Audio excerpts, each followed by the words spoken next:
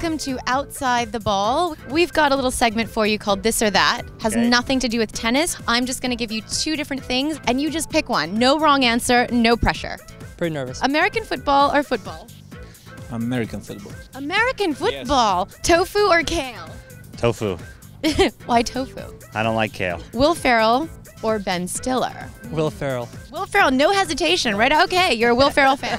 Yes, big one. Now, I know you're doubles partners, so we want to see how similar you are in your taste. American football or football? Football. New York or LA? LA. You guys are even in unison. LA. West Coast, West Coast is the best coast. New York or LA? New York. Scuba diving or mountain climbing? Mountain climbing. Why? Scared of sharks. Okay, but not heights.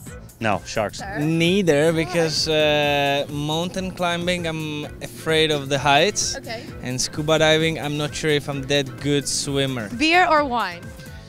Uh, both. Sampras or Agassi? Tough, I know. That's a very tough.